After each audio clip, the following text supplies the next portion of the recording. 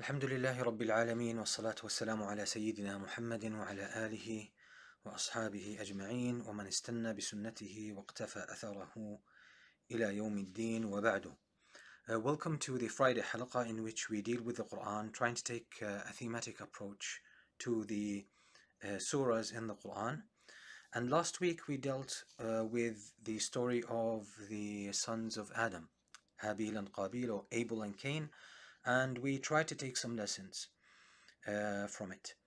Uh, I want to connect the story to the central theme of the surah. We said the the main theme in the surah revolves around uh, remaining true to one's agreements, observing and preserving one's agreements, and that this is a very important aspect of the divine message to humans. Actually, it's an underlying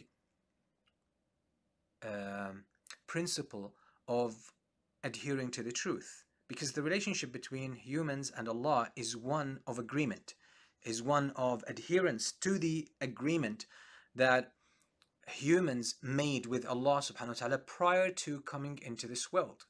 And then humans sort of re-engage with that agreement or um, activate and revitalize that agreement when a person commits to um, to Islam and they take their shahada, they pronounce their shahada, which is actually an agreement, and they are supposed to remain true to it throughout their their their, their lifetime. And uh, the um, the act of uh, Cain or Qabil when he killed his brother was actually a clear vi violation to his agreement with Allah subhanahu wa ta'ala. And the agreement with Allah subhanahu wa ta'ala again reveals itself and manifests itself through many angles. Uh, the foundational one is what we have in the revelation, which is the Quran and the Sunnah. And we've been given the seed of this, which is in our fitrah. And which, if we if we really dig deep down and reach its essence, the fitrah, uh, it's actually it's it's it's the pure human nature without any external influences. So so the story shows is, is actually a clear demonstration of how humans can violate and can go against and can break their agreement with Allah subhanahu wa ta'ala. And throughout the surah you will find that Allah, everything, almost everything is addressed through the lens of observing the agreements, remaining true to them, and not breaking from them. So we find the surah moves to another reference uh, towards uh, Bani Israel.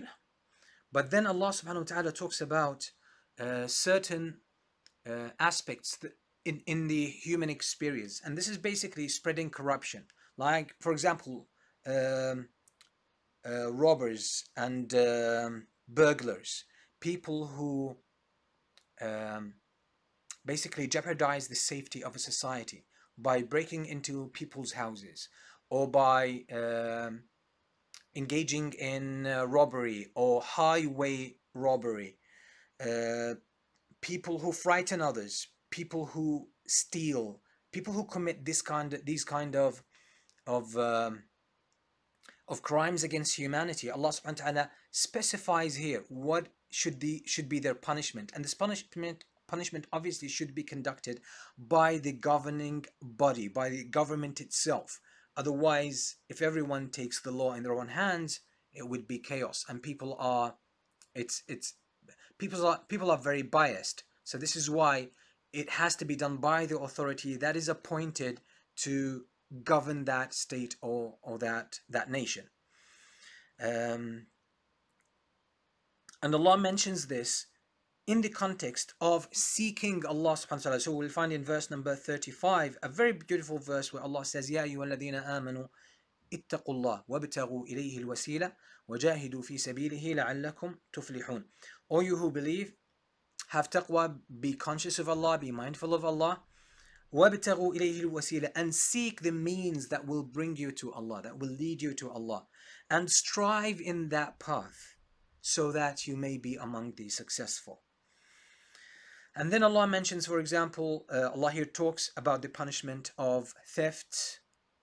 Um, again, it just follows the same principle because, again, robbery, theft, frightening people, jeopardizing people's lives, spreading corruption, mischief in the land, uh, becoming a threat to society is a violation of the agreement between humanity and Allah. Because Allah placed humanity on earth to again live in the best way possible.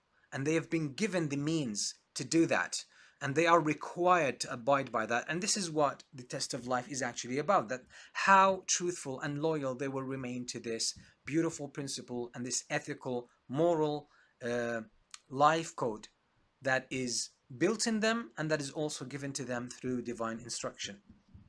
So allah shows here that th these crimes that are committed and the reason why there is uh, punishments, there are punishments for them, is that these are great acts of violation. And violation means betrayal. And betrayal is very dangerous. And it leaks into many aspects of life. So if a person develops an attitude of betrayal towards agreements, so basically this is going to show itself or manifest itself sometimes in robbery, sometimes in theft, sometimes in cheating, sometimes in murder. And this is why you'll find criminals will commit different types of crimes. Why? Because once you develop this inequality of freeing yourself from the moral commitment, then again, you have no reason, you have no preventive uh, uh, aspect, or you have no preventive uh, elements within you that will hold you back from violating other people's rights if an opportunity arises. So if it's theft, if it's murder, if it's cheating, if it's uh, taking advantage of situations, if it's monopoly, um, if it's abuse, etc. So this is why in Islam you will find that these punishments, because there are people who have this moral judgment within them. They have this natural commitment, but not everyone has this, and not everyone remains true to that. Um, so you still need for a society or for a nation to function in a healthy way, to be prosperous, to grow, so that people can fulfill the purpose behind their creation. Uh, you will need these kind of parameters. And this is why governments have prisons, they have a legal system, they have the, the court system, and, and they hold people accountable. It is their attempts to bring order and keep things stable in a society.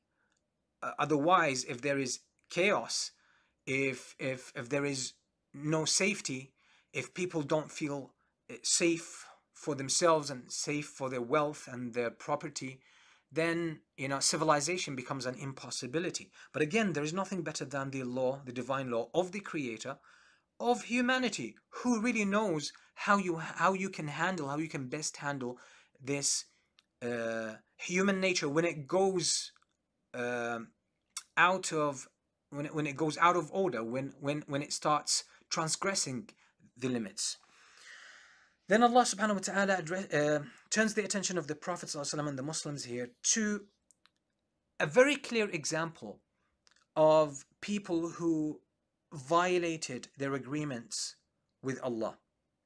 And this is the people of the book.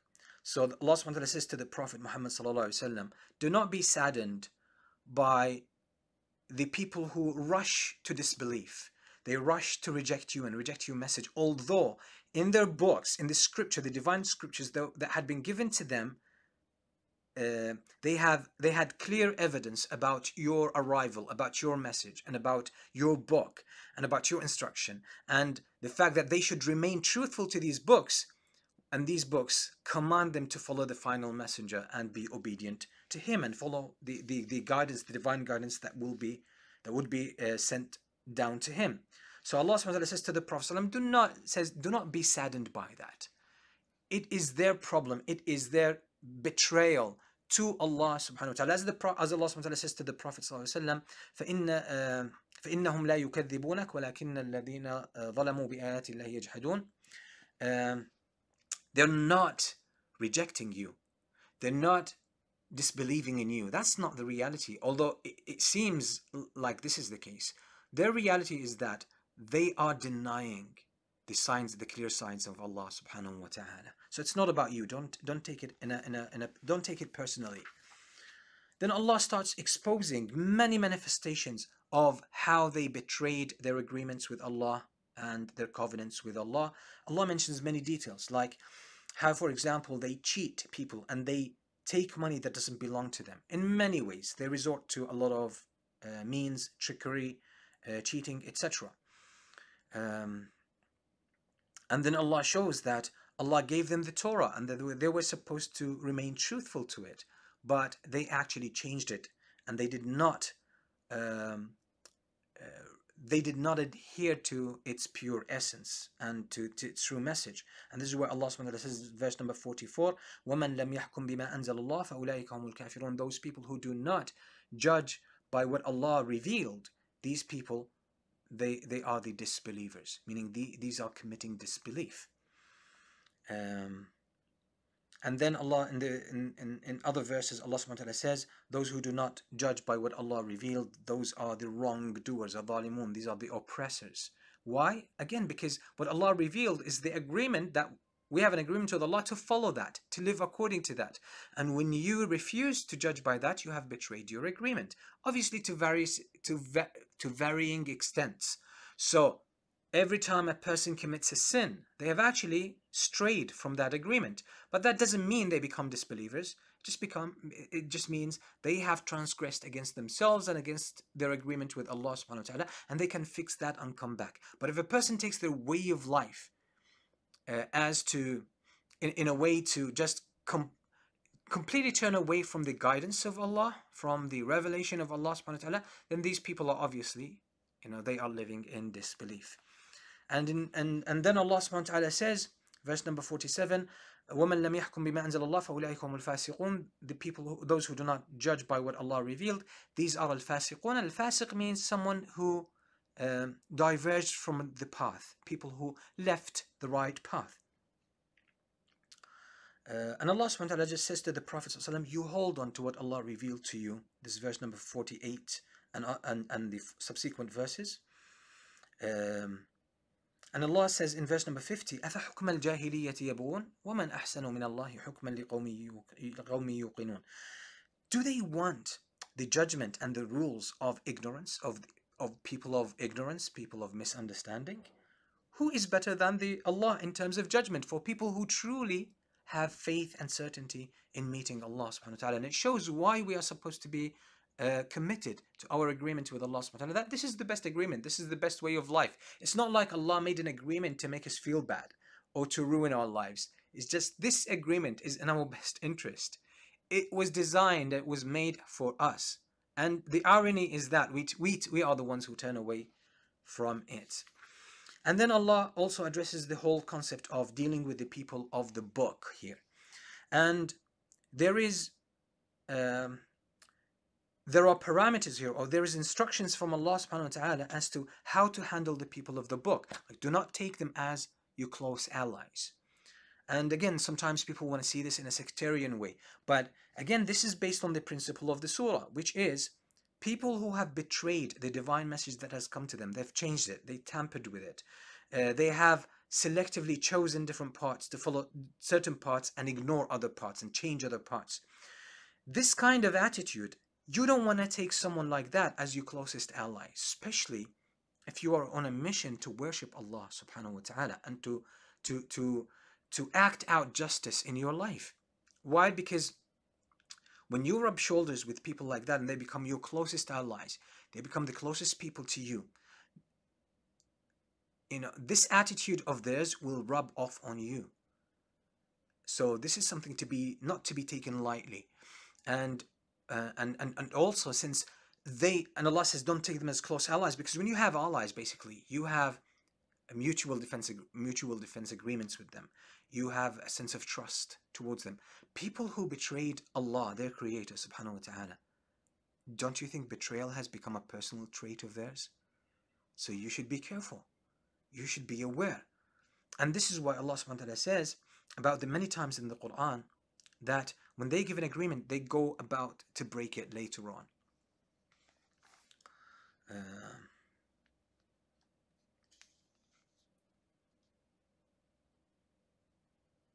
yeah, and Allah says that they take your religion as uh, in mockery. They basically, they, they, they start mocking your religion, making fun of your religion. Again, that shows the sense and the attitude of betrayal. So you need to be you need to be very careful and intelligent as to how you deal with these with these people. It's not just like blind instructions here from Allah subhanahu wa ta'ala. On the contrary, there is a if you like, and I'm using the word loosely, there is some kind of a philosophy. There's some kind of a clear mindset here, here with all the logic behind it.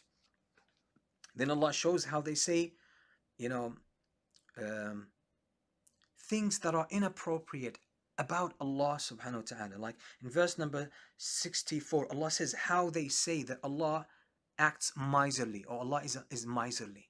billah. Like Allah is not generous basically. Allah doesn't want to spend time. Uh, Allah doesn't want to spend on His creation because Allah fears poverty. Something like that. Okay, no, this is these are blasphemous words, right? And Allah says, even prior to that, in verse number 61, 62, you will see that Allah says many of them, they actually, they're very quick to go to, to sins, to evil acts, and to acts of oppression, udwan, and to eating other people's rights, taking other people's rights.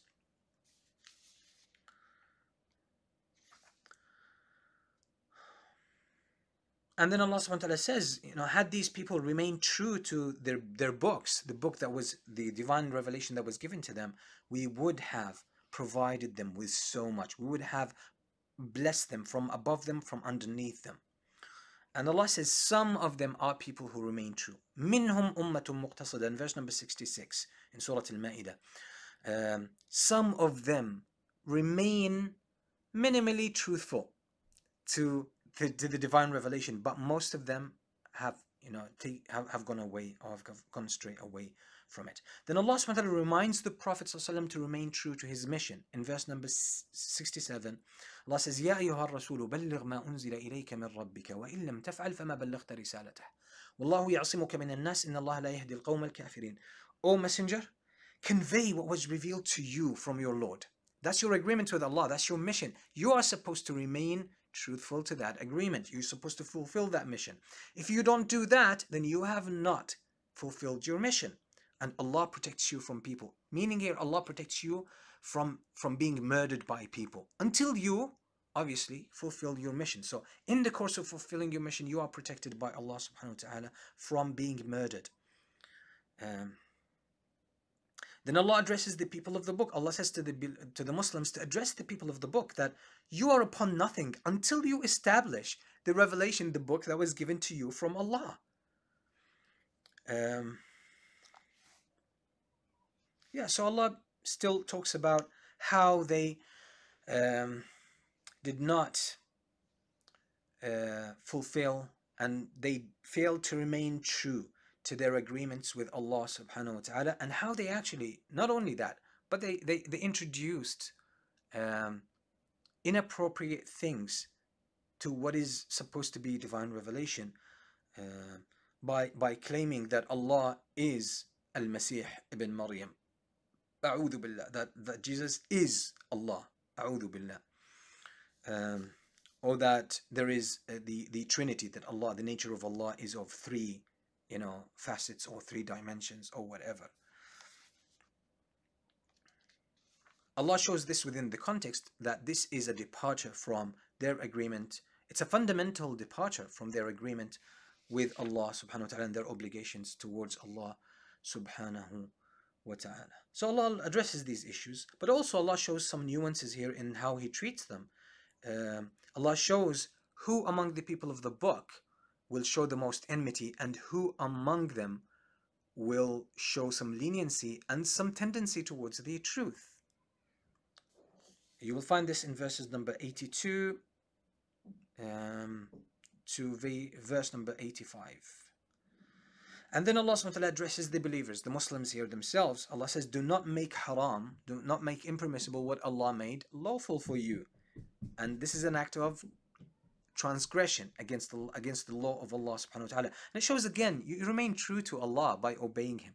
Ya ayyuhalladhina amanu awfu bil the first verse in the surah. All you who believe, remain truthful to your agreements, to your covenants, to your promises.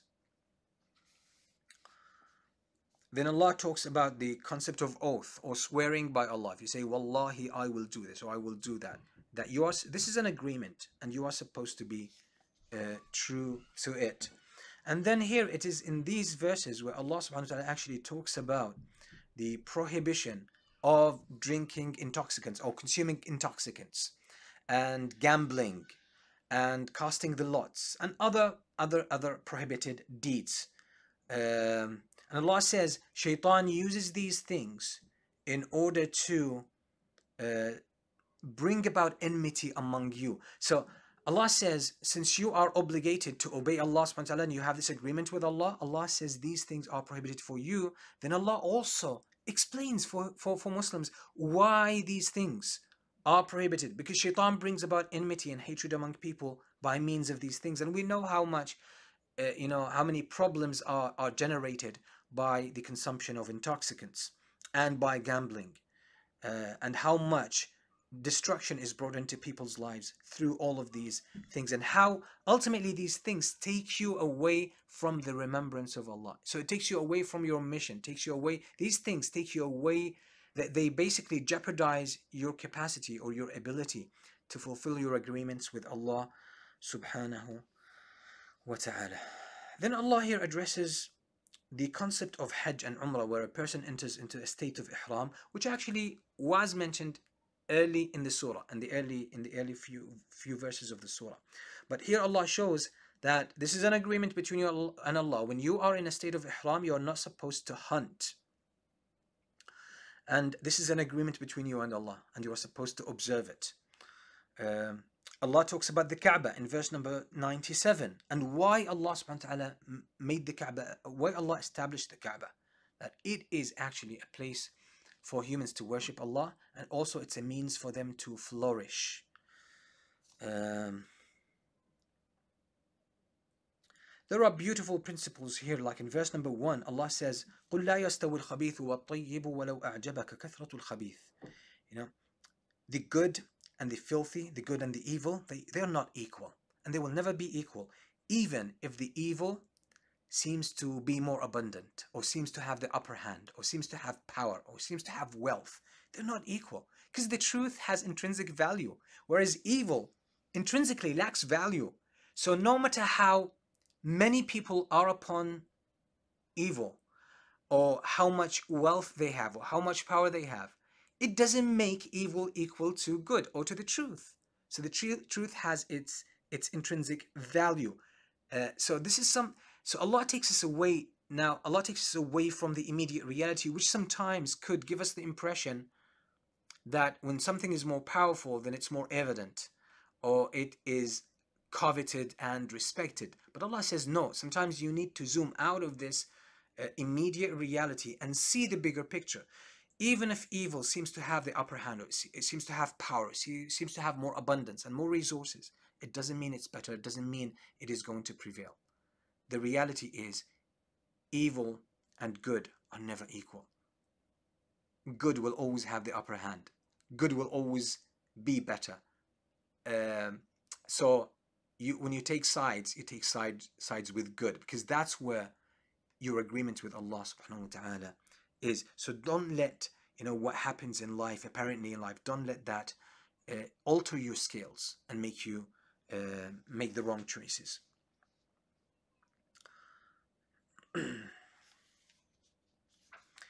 Yeah, so there's some reference again to certain practices that were uh, among you know the Arabs who were supposedly following the religion of Ibrahim and Ismail alayhim salam, but they actually departed. They did not remain true to, to these things. Um, eventually, Allah subhanahu wa ta'ala, I think we can close today, we can close actually today the surah, Surah uh, Al-Ma'idah. Allah subhanahu wa ta'ala shows what's going to happen to people who remain true to their covenant with Allah subhanahu wa ta'ala and what happens to those people who have violated this agreement with Allah subhanahu wa ta'ala. Allah says, starting with number verse uh, 109, يوم يجمع الله الرسل فيقول ماذا أجبتم قالوا لا علم لنا إنك أنت علام الغيوب When Allah gathers all the messengers and Allah would say to them, how were you received by your people? They would say, oh Allah, we don't know. You are the one who knows everything and you know the unseen. Because prophets, some of them, they didn't know exactly what happened after their departure as well. So they would say, Oh Allah, you are the one aware of everything. Um, so Allah subhanahu wa ta'ala is asking them, Did you convey? So Allah is holding the messengers accountable now. Did you convey my message? Did you fulfill your agreement with me? And how did your people respond? Then Allah subhanahu wa ta'ala here shows that He addresses Prophet Isa alayhi salam, Jesus, son of Mary, peace be upon him. Allah will say to him, Remember my favor upon you and upon your mother, that I supported you with uh, Jibril, the angel, that you spoke to people when you were um, a little baby, as soon as when you were an infant. I gave you the capacity and the ability to speak, and even the capacity to speak later on as an older person, and that's obviously with the return of Isa alayhi salam towards the end of time. And I taught you the book, and I taught you wisdom, and the Torah and the Gospels, the Injil. And I made you able to shape from clay, to shape birds, and to blow the soul into them so that they come to life with my permission. So I, that means, Allah creates through Isa alayhi salam. And that I gave you the capacity to heal different illnesses, diseases. And I even gave you the capacity to bring some of the dead to life.